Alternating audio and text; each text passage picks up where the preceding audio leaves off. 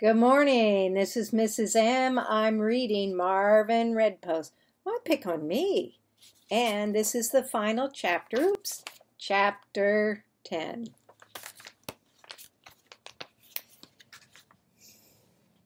By recess, everyone had heard about Marvin's question.